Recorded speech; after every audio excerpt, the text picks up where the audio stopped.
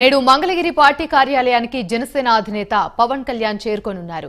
మధ్యాహ్నం మూడు గంటలకు గన్నవరం విమానాశ్రయానికి చేరుకొని అక్కడి నుంచి రోడ్డు మార్గంలో మంగళగిరి వెళ్ళనున్నారు రేపు అవనిగడ్డ నుంచి వారాహి విజయయాత్ర ప్రారంభం కానుంది. అవనిగడ్డలో వారాహి విజయయాత్రలో పవన్ కళ్యాణ్ పాల్గొనున్నారు రేపు మంగళగిరి పార్టీ ఆఫీస్ నుంచి అవనిగడ్డకు పవన్ కళ్యాణ్ ర్యాలీగా వెళ్ళనున్నారు అవనిగడ్డలో రేపు సాయంత్రం బహిరంగ సభలో పవన్ కళ్యాణ్ ప్రసంగం కోసం రెండు రాష్ట్రాల ప్రజలు ఆసక్తికరంగా ఎదురుచూస్తున్నారు.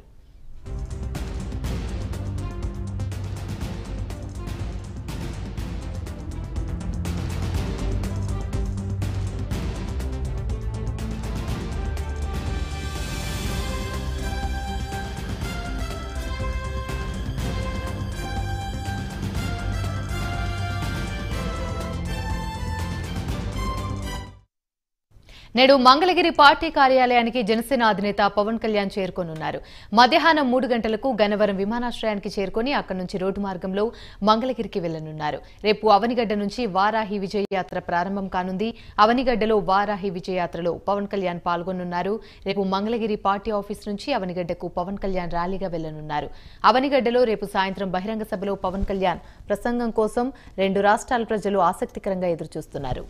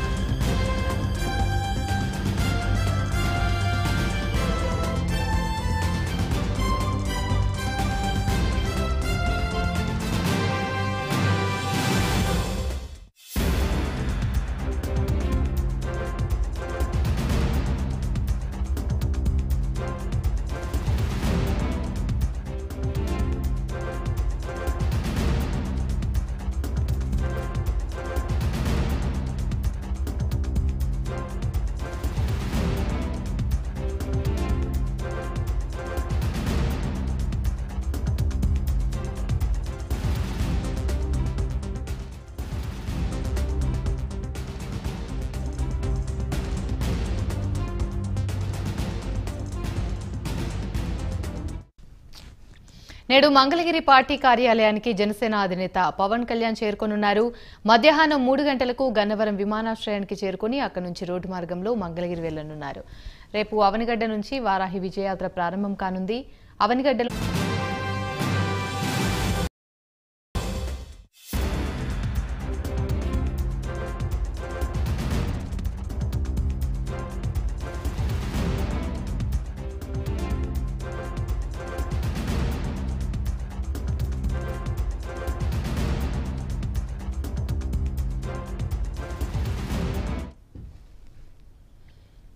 రైట్ మంగళగిరి పార్టీ కార్యాలయానికి జనసేన అధినేత పవన్ కళ్యాణ్ అయితే చేరుకోనున్నారు. ఇక మధ్యాహ్నం మూడు గంటలకు గన్నవరం విమానాశ్రయానికి చేరుకుని అక్కడి నుంచి రోడ్డు మార్గంలో మంగళగిరికి వెళ్ళనున్నారు ఇదే అంశానికి సంబంధించి మరిన్ని వివరాలు మా ప్రతినిధి సాంబశివరావు లైవ్ ద్వారా మరిన్ని అప్డేట్స్ అందిస్తారు. చెప్పండి సాంబశివరావు. థ్యాంక్ యూ ఏమని మనం చూసినట్లయితే ఈరోజు ఏదైతే జనసేన అధినేత పవన్ కళ్యాణ్ ఉన్నారో మధ్యాహ్నం మూడు గంటలకి ఆయన గన్నవరం ఎయిర్పోర్ట్కి చేరుకుంటారు. ఆ గన్నవరం ఎయిర్పోర్ట్కి చేరుకున్నక్కడి నుంచి ఏదైతే ఉందో మంగళగిరి కేంద్ర కార్యాలయం పార్టీ కార్యాలయానికి చేరుకుంటారు. పార్టీ కార్యాలయం చేరుకుని ఈరోజు నైట్ ఆయన అక్కడే ఉంటారు. రేపు మధ్యాహ్నం నుంచి వారాహి యాత్రకు సంబంధించి ప్రయాణం రేపు సాగనుంది. వారాహి యాత్రలో భాగంగా రేపు ఆయన మంగళగిరి జనసేన పార్టీ కార్యాలయం నుంచి నేరుగా విజయవాడ మచిలీపట్నం హైవే మీదుగా ఆయన అవనిగడికి చేరుకుంటారంటూ కూడా రూట్ మ్యాప్ ఖరారైనట్టుగా తెలుస్తోంది. టోటల్గా అవనిగడ్డ చేరుకునేసరికి సాయంత్రం నాలుగు నుంచి ఐదు గంటల సమయంలో ఆయన అవనిగడ్డ చేరుకుంటారంటూ కూడా చెప్తున్నారు ఇప్పుడు ప్రస్తుతం మనం చూసినట్లయితే రేపు జరగబోయేటటువంటి వారాహి సభాస్థలి వద్ద ప్రస్తుతం మనం ఉన్నాం. ఈ సభాస్థలికి సంబంధించి ఇక్కడ ఏర్పాట్లను అయితే జనసైనికులు పెద్ద ఎత్తున చేస్తున్నటువంటి పరిస్థితి. ఇప్పుడు మనం చూస్తున్నటువంటి గ్రౌండ్ ఏదైతే ఉందో ఈ గ్రౌండ్ అంతా కూడా పది ఎకరాల విస్తీర్ణంలో ఉన్నటువంటి గ్రౌండ్. ఈ గ్రౌండ్లో జనసేన అధినేత మనం చూస్తా ఉన్నాం. ఇప్పుడు అక్కడ కార్స్ ఏవైతే పార్కింగ్ చేసి ఉన్నాయో ఆ కార్ పార్కింగ్ చేసిన ఏరియాలో వారాహిని పెట్టి ఆ వారాహి మీద నుంచి పవన్ కళ్యాణ్ ఇక ప్రసంగాన్ని అయితే స్టార్ట్ చేస్తూ ఉంటారు. ఈ గ్రౌండ్లో చెత్త లాంటివి మరియు తుంగ లాంటివి ఉన్నందు వల్ల వాటిని కూడా క్లియర్ చేసేందుకు కూడా పెద్ద ఎత్తున మనుషులను పెట్టి ఇక్కడ క్లియర్ చేస్తున్నటువంటి పరిస్థితి. టోటల్గా ఈ యొక్క పది ఎకరాల విస్తీర్ణంలో సుమారు లక్ష మంది పైగా జనసైనికులు ప్ర కానీ ప్రజలు కానీ వచ్చి వీక్షించడానికి అనుకూలంగా ఆ, ఫ్లడ్ లైట్లు కానీ వీటన్నిటిని కూడా ఏర్పాటు చేస్తున్నటువంటి పరిస్థితి. సభ కనుక లేట్ అయితే కనుక లైట్స్ కూడా ఉండాలనే ఉద్దేశంతో లైట్స్ కూడా ఏర్పాటు చేస్తున్నటువంటి పరిస్థితి. టోటల్గా అవనిగడ్డ నియోజకవర్గానికి చెందినటువంటి సమస్యలపైన ఆయన రేపొద్దున గలమెత్తనున్నాడు. అదేవిధంగా కృష్ణా జిల్లాలో ఉన్నటువంటి సమస్యలన్నింటినీ కూడా ఆయన గలమెత్తి ప్రజ ప్రభుత్వాన్ని ప్రభుత్వం దృష్టికి తీసుకెళ్తారని చెప్పేసి తెలుస్తోంది. ముందులో ముఖ్యంగా మనం చూసినట్లయితే ఇక్కడ అవనిగడ్డ ప్రాంతానికి ముఖ్యంగా డిఎస్సి అనేది ఒక వరంలా ఉంటుంది. ఇక్కడ డిఎస్సి విద్యార్థులు రాష్ట్రం నలుమూల నుంచి కూడా ఇక్కడికి వచ్చి అటు తెలంగాణ ఆంధ్ర నుంచి కూడా వచ్చి ఇక్కడ డిఎస్సి చదువుకుని ఇక్కడ అనేక ఉద్యోగాలు చేస్తున్నటువంటి పరిస్థితి. రెండు వేల ఇప్పటి వరకు అంటే ఐదు సంవత్సరాలు అవుతుంది డిఎస్సి వచ్చి ప్ర- వైసీపీ ప్రభుత్వం వచ్చిన తర్వాత ఇంత మటుకి డిఎస్సి ప్రకటన అనేది కూడా ఇంత మటు వెలువడబోతుంతో ఆ ప్రకటన గురించి కూడా డిఎస్సి దాని గురించి కూడా పవన్ కళ్యాణ్ మాట్లాడే అవసరం అవకాశం ఉంటుంది. అదేవిధంగా ప్రభుత్వ ఉద్యోగులు సంబంధించిన కొన్ని ఏదైతే పెండింగ్ ఉన్నాయో వాటన్నిటికీ కూడా ఆయన మాట్లాడనున్నారు ఇక్కడ ముఖ్యంగా సం ఏదైతే గతంలో జగన్మోహన్ రెడ్డి కూడా ఇదే ప్లేస్లో సభ పెట్టి ఇక్కడ అవనిగడ్డ నియోజకవర్గానికి కొన్ని వందల కోట్ల రూపాయలు నిధులు ఇస్తానంటూ కూడా హామీలు ఇచ్చినటువంటి ప్రదేశం ఇది.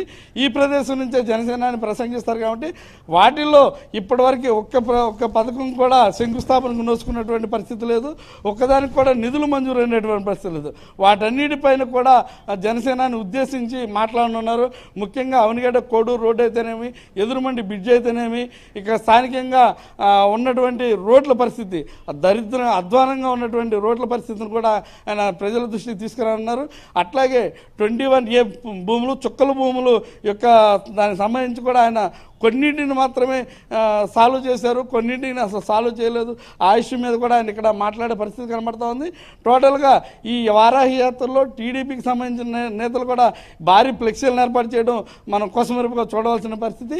అటు టీడీపీ నేతలు కానివ్వండి ఇటు వైసీపీ నేతలు కానీ వైసీపీ నేతలకు వ్యతిరేకంగా తీర్మానాలు చేస్తూ ఇప్పుడు టీడీపీ నేతలు కూడా రేపు రానున్న వారాహయాత్ర అంటే రేపు జరగబోయే వారాహయాత్రకి పెద్ద ఎత్తున రావాలంటూ కూడా తీసుకొచ్చే క్రమం చేస్తున్నటువంటి పరిస్థితి.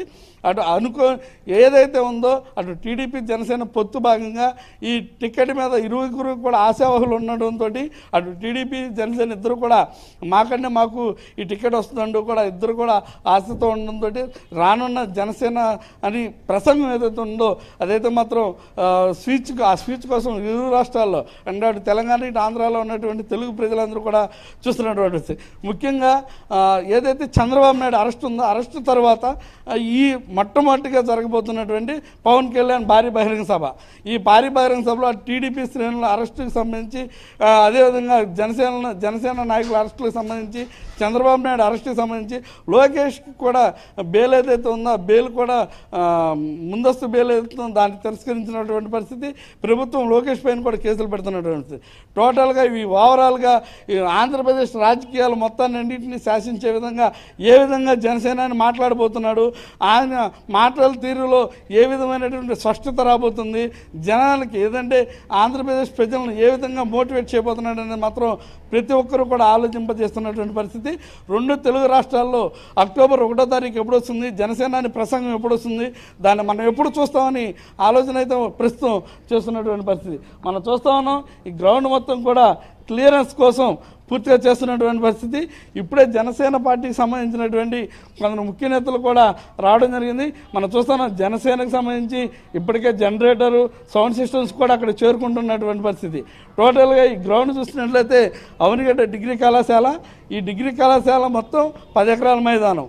ఈ పది ఎకరాల మైదానంలో కూడా పబ్లిక్ పూర్తిగా కూడా నిండిపోయేటటువంటి అవకాశం. ముఖ్యంగా మనం చూసినట్లయితే ఇటు ఏదైతే ఉందో వార్పుకి అంటే మనం చూస్తా ఉన్నాం ఇది ద్వీప కల్పం అంటాం దీన్ని.